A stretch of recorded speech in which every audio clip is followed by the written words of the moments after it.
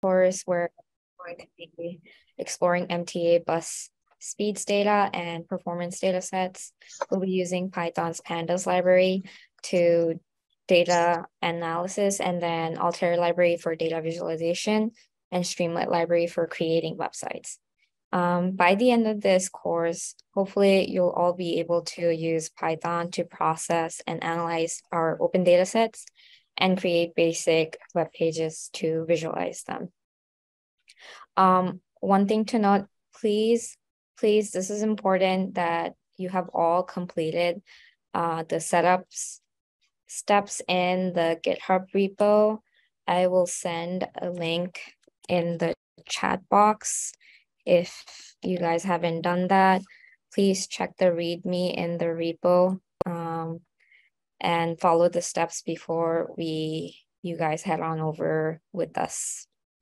And one thing to note that this session might be a little bit too quick um, because of time constraint. So um, this notebook will have all the information and examples for you to always reference either during or after the session has ended. Great, so let's do introduction of our team. First off will be Lisa.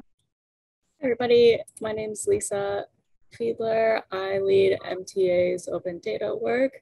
I'm really excited to have us be participating in our second Open Data Week session of the year. Um, I also want to give a shout out to some people behind the scenes that are making this happen. So my colleagues Jonathan and Wayne, who will be helping monitor the chat box throughout this. So if you get stuck on specific steps, need help with installation, just shoot us a message in the meeting chat and we'll try our best to help you.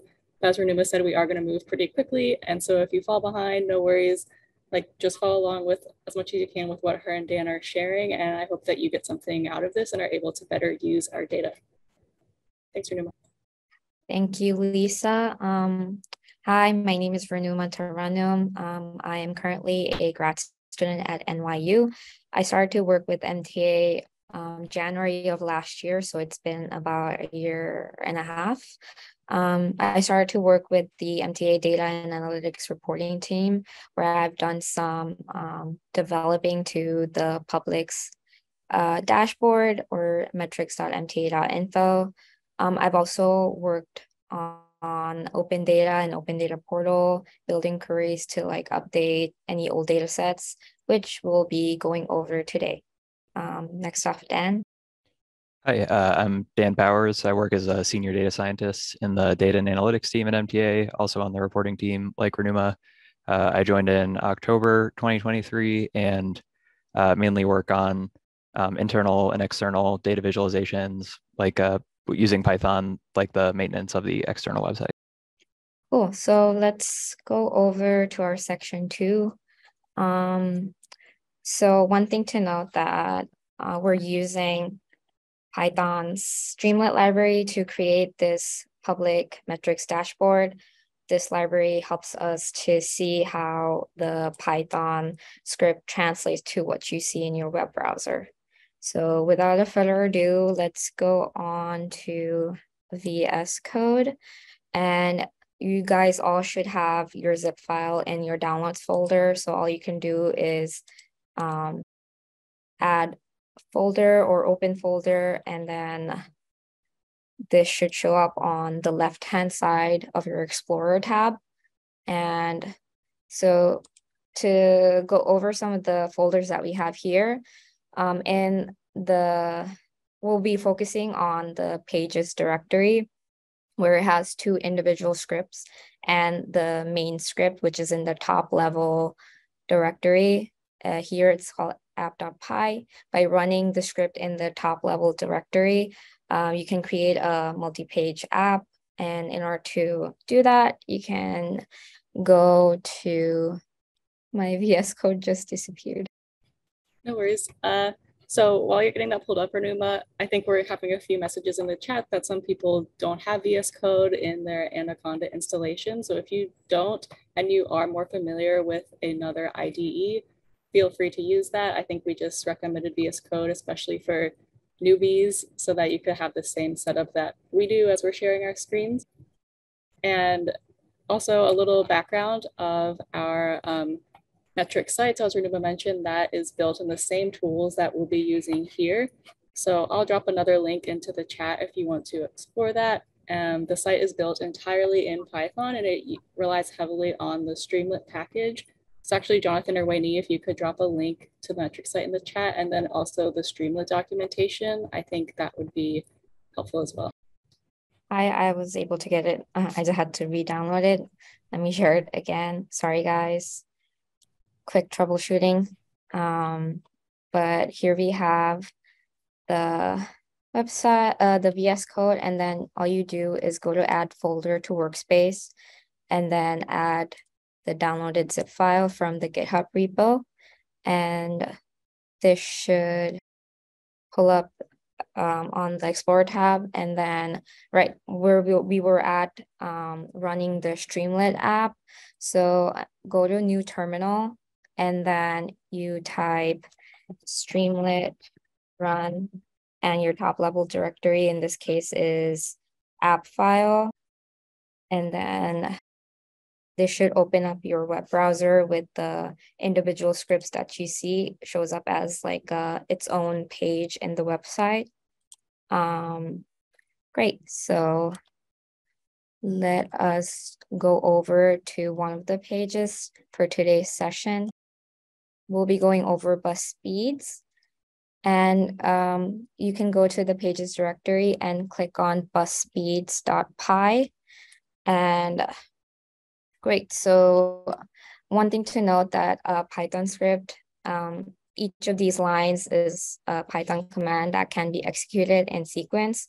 So you can execute each line by highlighting and hit shift return for Mac and shift enter for Windows users.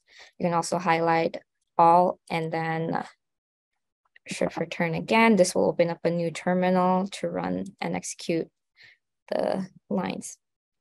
Next up is a cool thing about Streamlit is you can make things show up on your screen when you're using a website and they are interactive. So some of the functions make text, which can help website look nice and easy to read. Um, let's go over to our first task, um, which is to write the title.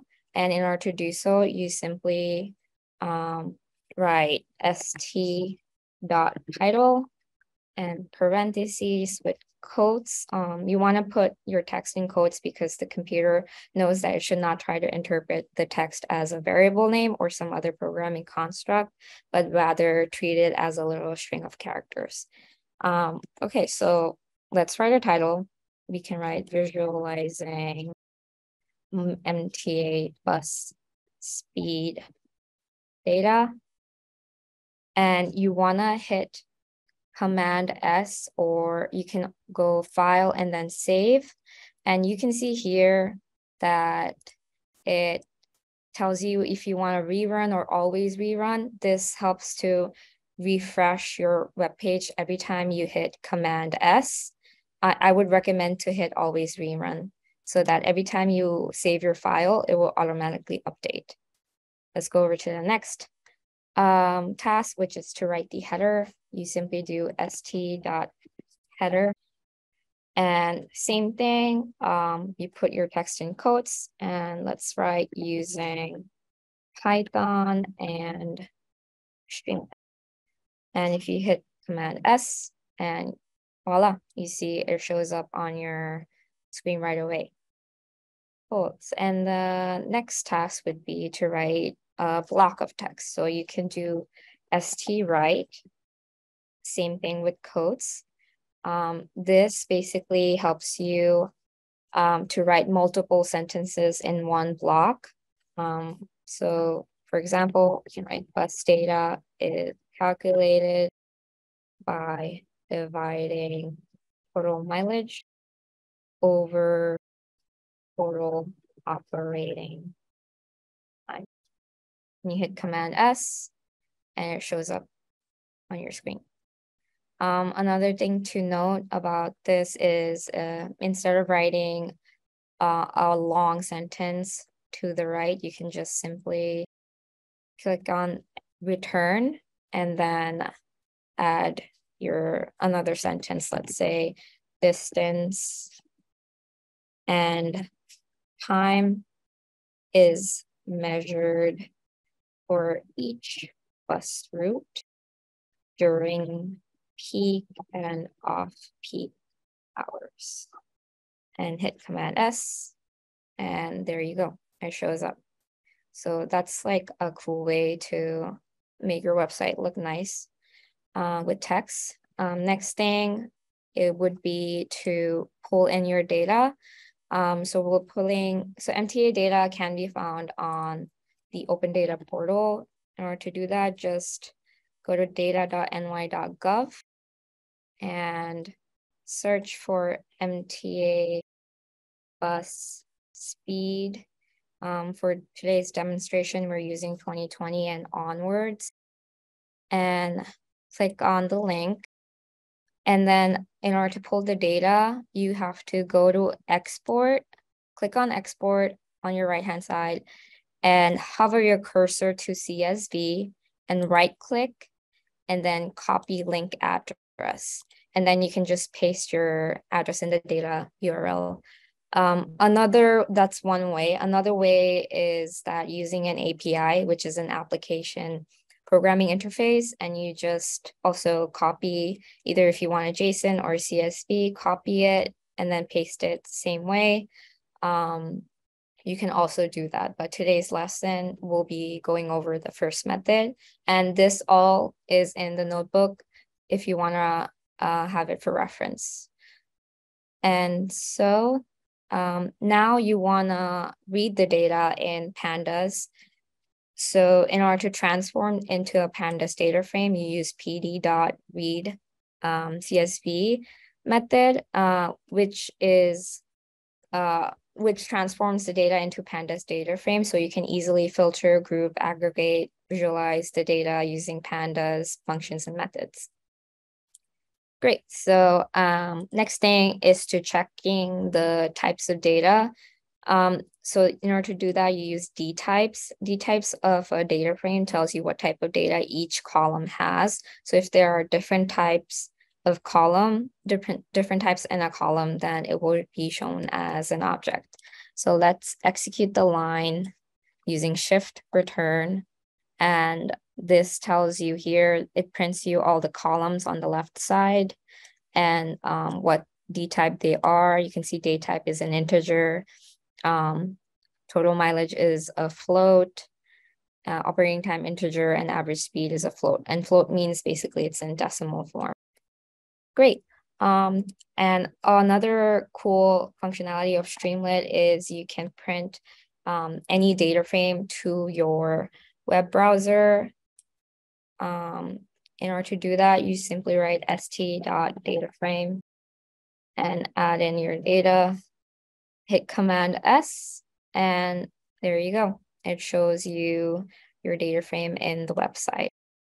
Great. Um, next thing on which you see here is um, using the filter options for uh, Streamlit filter options. You can see on the website that we have this um, drop down menu.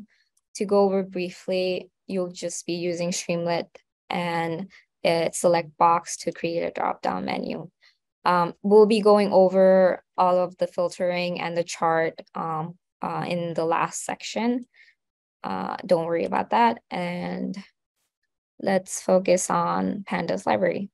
Um, here, we're checking the type of data in the date column. You wanna make sure your date column is in date time object in order to perform filtering options based on your specific data range. So here, basically, you're using type method to retrieve what type of uh, class type it is. IATs to specify the index. And in this case, we're specifying it to zero, which is the first row. Uh, and we're saying to check the first row of the month column. So let's execute that, shift return. And oh, sorry, shift return. Okay, so here you see it shows up as class string, meaning that the data type of the value is a string. And this is not what we want. We want it as a date time object. So in order to do that, we use PD to datetime um, in order to transform the elements of month column into a datetime object. And then you use arg equal to specify the argument being passed. In this case, it's the month column. Format is to um, tell the function how to interpret the string. And we want it in year dash month value. And then dt dot date is an accessor that extracts only the date portion of the datetime object and assigning it back to the month column. This um, all is described with explanations and examples in the notebook section. So now if you copy and paste and run this shift return, you see that now the month column is in datetime object. Great, so it looks like everything's working good. Um, here, this is also another filtering of um, the date using st.date input, which you'll go over in section four. Um, and then .loc is to apply all the filters, which will also go into the section four. Um, now task number six is group by.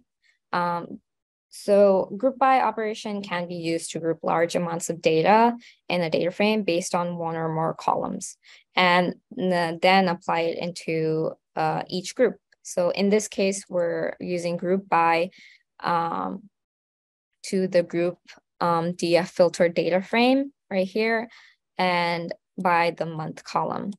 So, and the AGG function is applied to each group in this case uh, we're calculating the total sum of total mileage and sum of total operating time um, for each month. And then as index is basically to make sure your month is a column rather than an index. And yeah, and then we're calculating the average speed uh, by dividing the total mileage and the total operating time for each month. And then we are creating a new column called average speed in that data frame. Great, and this one I'll go over briefly is that um, why are we pulling um, a maximum average speed and then why are we adding 20%? So we're getting a y maximum for our chart by finding the maximum average speed values and adding 20% to it because adding 20% to the maximum average speed allows the charts um, y-axis to have a little extra room at the top, making it easier to see the data points and providing more context for the data pre being presented. It is a common practice to add some padding to the axis limits to ensure that the data is not squished to the bottom um, or the top uh, of the chart, which can make it harder to read and interpret. So that's why we're adding 20%.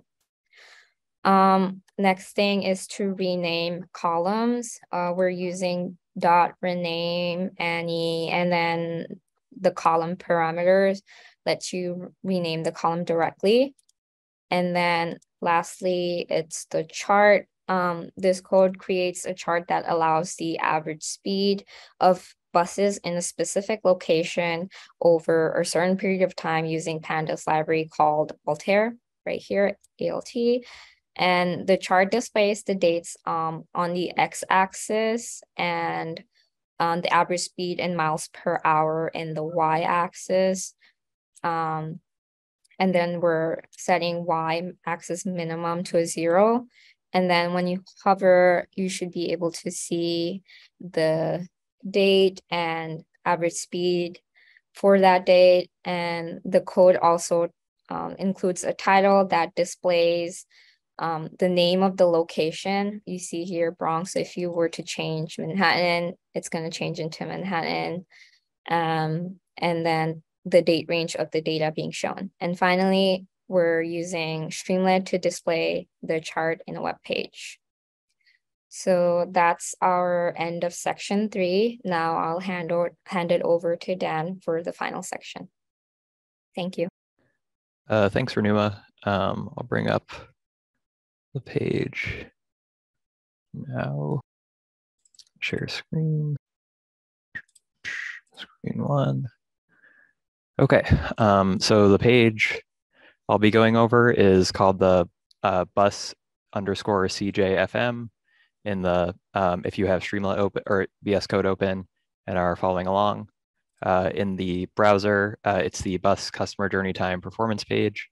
Um, in this section, I'll go over how you can use um, different Streamlit commands to accept user input modify the data sets that you read in uh, based on that input, um, create visualizations of those data sets uh, using the Altair package, um, and use Streamlit functions to organize the layout of your page in a way that's more friendly to users. So, uh, kidding me? Um, I'll, I'll wait for, for this.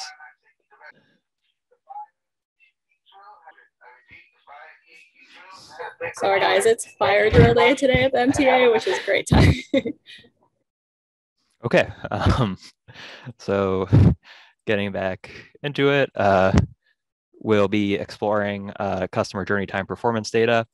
Um, this data set uh, reflects information on uh, the rider's experience and performance metrics that buses use to measure the rider's experience as people use buses. Um, We'll also be reading in a data set from the open data portal, uh, like Rahnuma showed before. Um, I'll begin by uh, displaying that data set as we go over some of the important columns we'll be working with. So uh, like Rahnuma showed, I'll type st.dataframe and then bus journey, which is the uh, name of the data set I'm assigning this to, and then hit the rerun button in the top to rerun the page. Um, so as we look at this, we can see that each row in this data set is information over a month for a given route at a given time of day, off peak or peak, uh, on a given uh, trip type. Uh, so express, local, uh, SBS. And then the metrics that are shown in this data set are the number of riders on that route at that time period over that month, the average additional bus stop time, which is the average time that customers wait at a stop beyond the time that they're scheduled to wait, the additional travel time, which is the average time customers spend on board a bus beyond their scheduled travel time, and the customer journey time performance, which is the percentage of customers whose journeys are completed within five minutes of the scheduled time. So uh, looking at sort of the rest of this page, you can see uh, there's a number of different filters here. Um, there's a view of the data set after those filters are applied. There's a line chart which has some problems with it. And then there's a bar chart which also has some problems with it. So the goal of this session or throughout this session, uh, we'll be completing the tasks in this uh, script to organize these filters in a more logical way and to organize the data set and charts in a more logical way um, and fix the problems in each of those. So I'll comment out the ST data frame statement um, and then start working from, through some of these filters. Um, and I, I, should also mention uh, here, um, using st.markdown as another text input, uh, you can um, apply additional styling to your text using uh, the markdown syntax, which I, I, won't go too much into, but is a pretty uh, basic format for writing documents. So um, then getting into this script, uh, like Rahnuma went through. Um, here, we are converting the month column in this data set, uh, which has also been read in as a string, to a date by using the pandas date to date time function and specifying the format. Um, we're then extracting the maximum and minimum month uh, from that. And in this date input here, we're showing uh, as the minimum value or, or the starting point for the date range that's shown, the minimum month and the maximum month as the maximum month and setting uh, restrictions on the range you can select, uh, like this arrow is grayed out uh, based on the maximum and minimum month that's in the data frame. Um, if you left uh, just an individual month here, um, which I'll, I'll do quickly, even though it'll break the page, um, this turns into a, a, single date select. So if your page, you just wanted someone to be able to select one date, uh, you just provide one value there. If you provide two, it converts to a range. Um, so one concept that's useful to understand is uh, Streamlit functions are translating things to your browser, and then some some of them, uh, the input functions, are also returning values to uh, Python. So uh, just to illustrate that, I will uh, st.write the values stored by select date. Um, and what comes out is the uh, the date that's selected here and the date that's selected here as a, a tuple type, which is a list in, or a type of list in Python. Um, so then I'm using the .loc method of uh, Python data frames to filter the data set to the date range that's been selected here. So uh, I'll just uh, modify this a little bit so it's a little clearer um, that there are some changes. Uh, and what this is doing here is comparing dates in the month column to the first selected date, comparing dates in the month column to the second date, and then only returning rows in this data set that uh, return true for this comparison. Um, another type of filter you can use, uh, like Rahnuma showed, is a uh, select box. Um, so this is a select box that lets the user pick the trip type of um, rows in the data they want returned. So uh, a select box only returns one value and only lets you select one value. Um, and what I'm doing here is extracting unique values of trip type from the data set. Now, uh, another way to do this would be to just create, to write out in Python a list of unique trip values like exp, LCL slash uh, LTD, etc. Um, that's a little less desirable than getting the unique values from the data set itself, because if the data set changed, like if MTA came up with a new trip type that was somewhere between express and local, um, that might not be captured in the values that you've written out uh, directly. So generally, as a good practice, it's good to try to get the values of these filters from the data set, and we try to do that with the public site. Um, so uh, I feed in the values that are pulled from the data set using the unique and to list method to the select box here. Uh, index equals zero means the first option in this list is selected by default. Um, and what is returned from the select box is a string representing the value that's selected by the user. Um, and then again, as above, I'm filtering the data set to the uh, trip that type that's selected here. Um, I'm doing a similar thing for this uh, radio button, um, which is another Streamlit input. It's basically the same as a select box, but instead of uh, a uh, sort of drop-down list, it's a radio button. Um, and index equals one means the second option is selected. Um, zero is the default first option for Python. Uh, and then again, I'm filtering the data set to the period that's selected here. Um, in the next step, uh, there's a multi-select um, Streamlit uh, user input option. This lets you select uh, multiple values. It also lets you select no values. So if I uh, selected nothing here, um, the page breaks below because it requires some selection. Um, and uh, what it returns is a list of the values that the user selects. Um, so uh, I've extracted the unique boroughs. Those are the available options.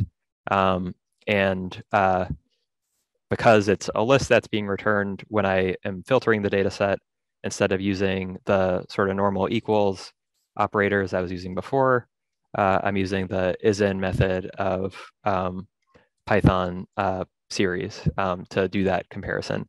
So that just checks is the borough that is in a given row of the bus journey data in the list of values that uh, are in um, select borough.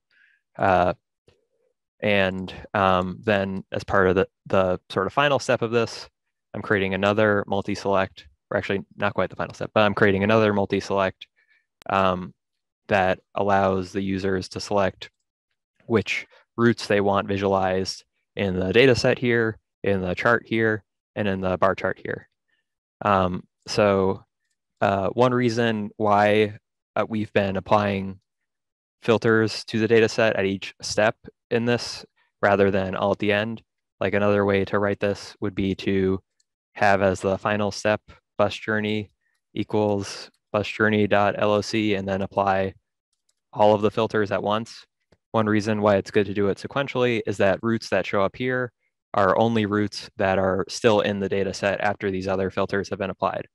So if you hadn't done that and did it all at the end, you might pick routes that are excluded because, or routes that are only in Staten Island, for instance, or only in Queens and are filtered out by the data set, but we, we so it becomes unclear exactly uh, why you're getting an empty data set uh, unless, unless you're doing it sort of sequentially.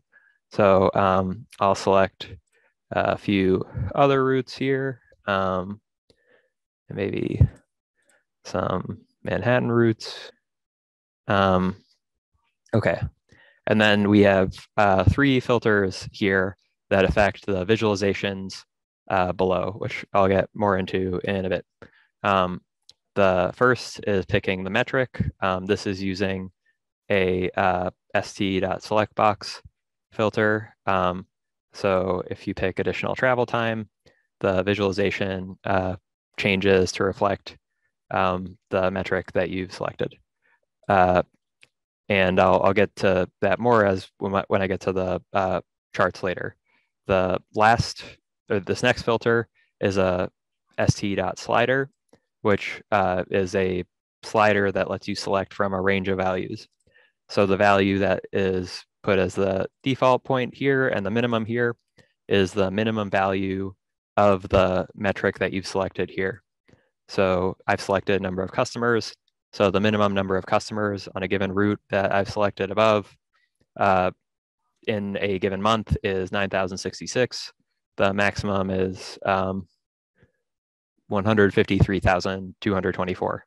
Uh, if I change this to additional bus stop time, the slider adjusts to uh, 0.64 to 3.53. I'll go back to a number of customers for now. Um, and you can uh, sort of play around with this and it'll filter the data set based on uh, the your selection because of this LOC statement. Um, finally, there's a text input uh, which um, will determine the title of this bar chart.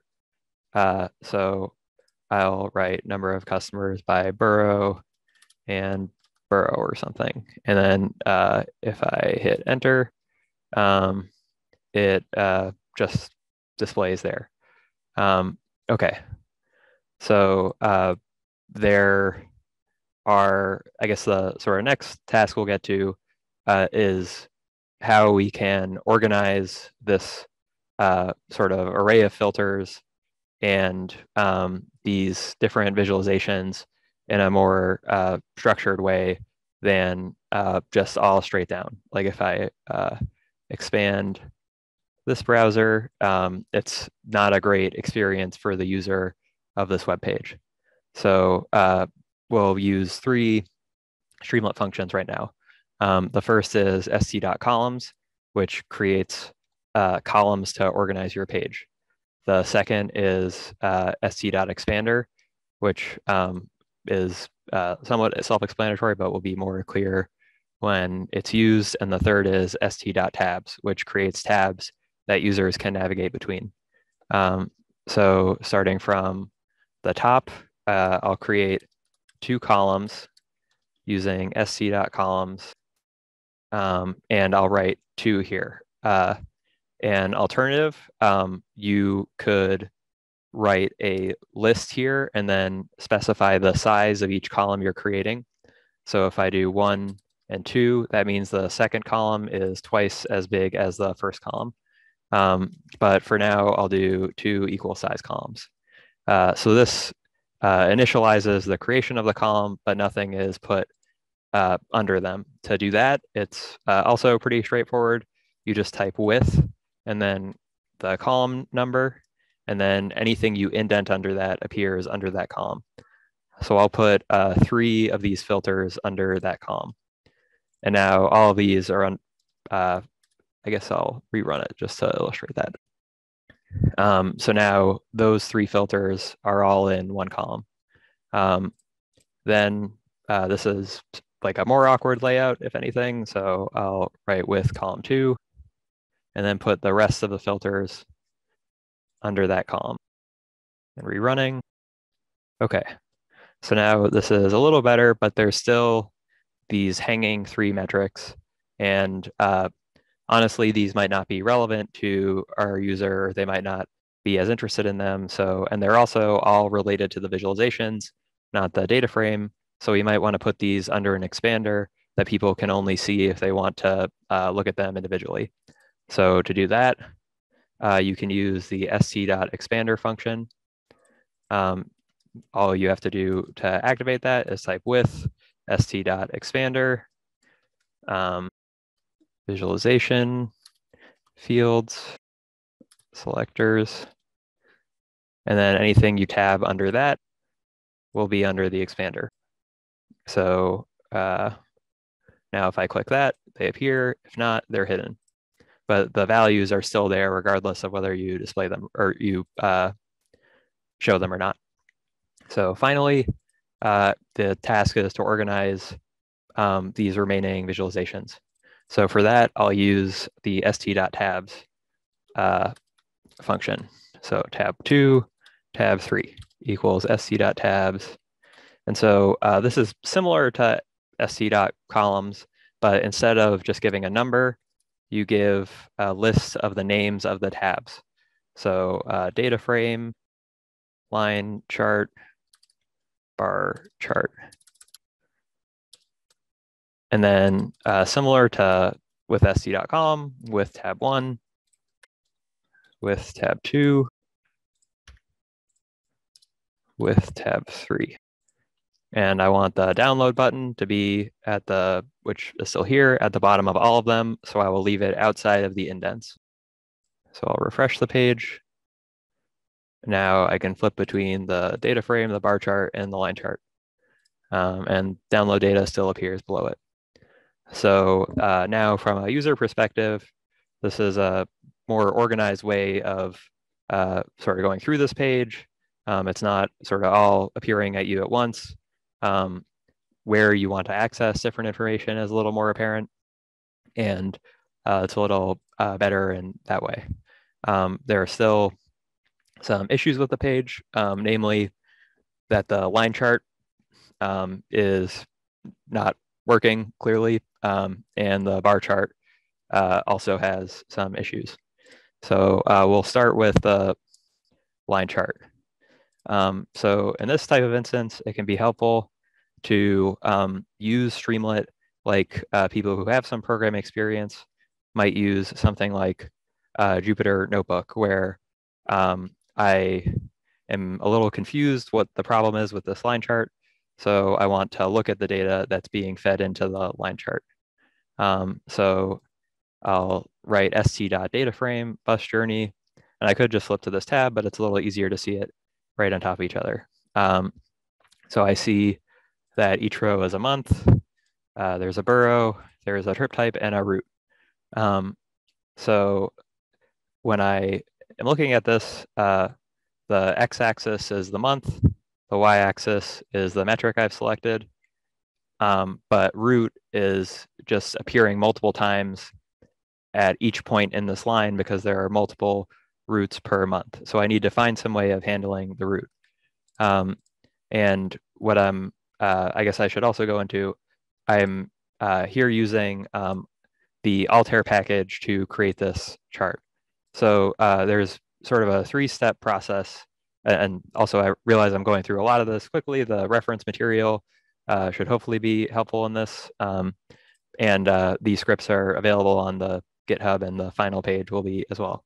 Um, the Altair package has basically a three-step process for making visualizations. The first is to initialize a chart, which I'm doing here with alt.chart and the data set that I want visualized. The second is to use a mark some type of function. So here, that is mark line. Here, that is mark bar. And the third is to encode, uh, would basically map uh, values to the axes of that uh, chart. So here, uh, X is month. That's what appears here. Y is select metric, number of customers is what I've selected um, here. Uh, and um, then I'm specifying some additional properties uh, like the title using the dot properties uh, function, and I'm making it interactive using dot interactive. Um, interactivity isn't actually that helpful here, but uh, is a feature you can include. Um, and a nice thing about Altair charts is if you hit this buttons in the top right, you can uh, save this as a, a, PNG or an SVG um, to uh, be able to access it later. Um, so going back to uh, fixing the problems with this chart, uh, basically the problem is this chart is graphing data for each month, but doesn't know how to handle the fact that there are individual routes in this. So the approach that we'll take for this chart is we'll add another uh, feature to the chart, which is uh, color. And we'll select for that uh, route ID. So now if I rerun the chart, it looks much clearer. It's comparing by month each uh, each um, route uh, total customers against each other. And if I wanted to flip to a different metric, I can see uh, similarly a comparison of additional bus time between these different routes. Um, another feature you can do is you can specify options to uh, the mark function. So uh, here I'll do point equals true and rerun. And it becomes a little clearer at each point um, or where on the graph uh, each route uh, lies. So now uh, the sort of next task and final task will be to fix the bar chart. Um, so uh, here, if I again look at the, the data that's being fed into the bar chart, um, which is the uh, bus journey data, um, I see that each row is a month, a borough, a trip type, which we filtered to one, um, there can be multiple boroughs and a uh, route, which there are multiple of. Um, the x-axis is borough, and the y-axis is, uh, in this case, additional bus stop time. So um, there isn't a clear handling of the fact that there are multiple months and there are multiple routes being uh, combined into these individual bars. Um, so uh, here is a case where you might want to use um, sort of uh, different handling for different metrics. So let's say I wanted to know the total um, custom or total uh, riders of these buses uh, by these boroughs uh, over time. I could do um, aggregate equal sum and then rerun. Okay, and now this is a clearer handling of uh, this chart. Uh, it's totaling the number of uh, riders in each month by borough um, for the date range I've selected for the trip type and the period you've selected. Um, if you wanted, uh, if we did something or a, different metric though, like additional bus stop time, um, summing would not be an appropriate way to handle that necessarily um, because that's showing, or it wouldn't be because it's showing the average additional travel time per route um, by month. So adding that together isn't showing you meaningful information. Uh, a more informative metric might be the mean. Um, so to see by borough for the routes you've selected, the mean additional travel time uh, for those months. Um, and I think that worked, but it looks the same as the other chart. So I'm uh, a little confused, but um, and then uh, in this sort of last, and, and I guess I should also go over with alt.x and alt.y, you have the option of specifying more uh, sort of specific parameters for the fields, like the type of data or whether to aggregate it or not, um, than you do uh, if you just give the name of the variable. And then with the tooltip uh, parameter, you're able to, with the alt.tooltip function, create uh, tooltips that hover or show when you hover over the data. Um, so uh, I think the very very last uh, step I'll go over before opening to questions is um, you may, uh, for the reason we went, or some of the reasons we went over, uh, want to use um, sort of uh, conditional logic to make your web pages. So if they select, if the user selects number of customers, maybe you want um, the uh, values to be summed together. If they select uh, mean, or if they select another metric, maybe you want them to be averaged. Uh, to resolve that, you can use um, if else statements. So uh, those are uh, fairly straightforward to use if um, metric, select metric equals number of customers. I'll create a new variable called aggregate equals sum, else aggregate equals mean. And then I'll and replace the text here with the variable I've defined there. So now um, if I if the user selects number of customers, it uh, should total them up. Um, if they select a uh, different metric, it should uh, calculate the average. Um, okay, so we've gone from a fairly disorganized page to a more organized one and tried to resolve some of the problems with these charts. Uh, I think um, that is pretty much everything I meant to cover. So I, I think uh, should have some time for uh, any remaining questions. And I think we have some questions in the chat, so maybe I'll pass a few of those over to you. Um, so one of them is about how to, I think, change the color scheme on the charts. I don't know if you're prepared to talk about that. um, I think so. Uh, it, I guess this is a thing where, uh, like, it's helpful to. Well, let me a, useful thing about VS Code and other um, sort of uh, IDEs is um, that they uh, have help um, and like pop-up text. So if I type um, alt dot uh, chart dot code, yeah, this is not as helpful as I was hoping. Um, because it hasn't loaded yet. I mean, I think the short answer, right, is that we can change the color scheme to whatever we want. And if you notice what Dan built here, you can see that the colors used are different than what we have on our metrics site, which we defined specific color codes that we wanted throughout the charts. So yes, it's definitely possible. And maybe in the updated script that we share to the GitHub, we can add that as a sample to a line chart or something. Uh, yeah, that sounds great.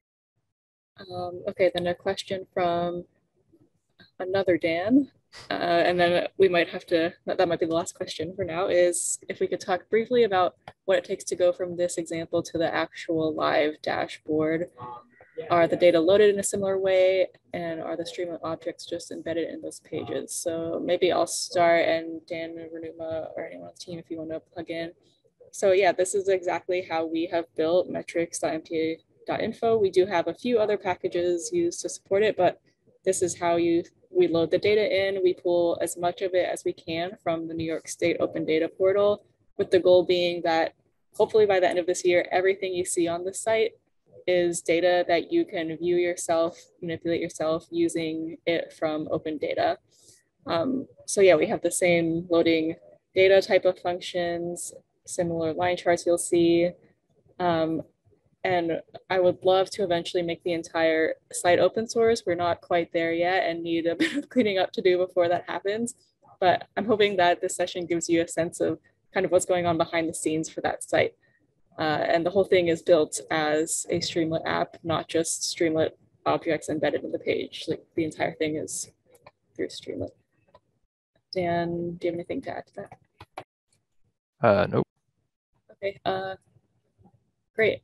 I think that covers everything then that we wanted to. So yeah, I think that Dan can save a copy of these edits that he's made to this page and we'll upload that to the GitHub. Um, you can always contact us at open data at mtahq.org if you have questions, comments about our open data program, about our visuals. And big shout out to Dan and Rahnuma for putting together this session. I learned a lot from it as someone who's constantly learning to become a better programmer, and I hope you guys did too.